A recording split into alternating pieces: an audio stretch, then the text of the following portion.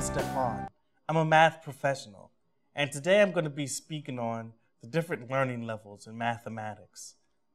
First, math deals with arithmetic. Now, arithmetic is basically addition, subtraction, multiplication, how to count your basics, uh, you know, fractions, uh, decimal points. You know, those are the basic computational skills that you need. And then you move on to other subjects, things like algebra. Algebra is your next level. Algebra mainly deals with logic and the introduction to equations and equations involving variables, things that vary, you know, and that includes, you know, what number is equivalent to so and so, your x's and y's, variables, and finding out solutions to problems. And then you have your geometry.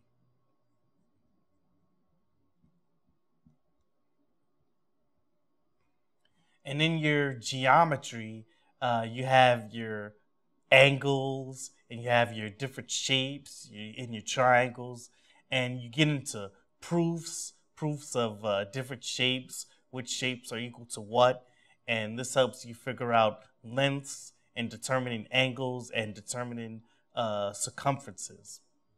And then you have a mixture of the two, which gives you your trigonometry.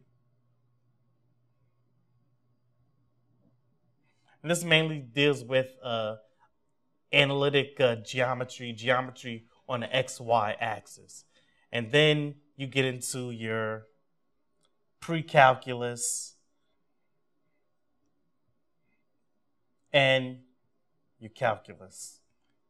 And this deals with rates of change and counting indiscreetly, counting on a continuous process from point A to point B, everywhere along that point, what is the velocity, what is the speed, what is the uh, what is the acceleration, and you get into all of this in calculus.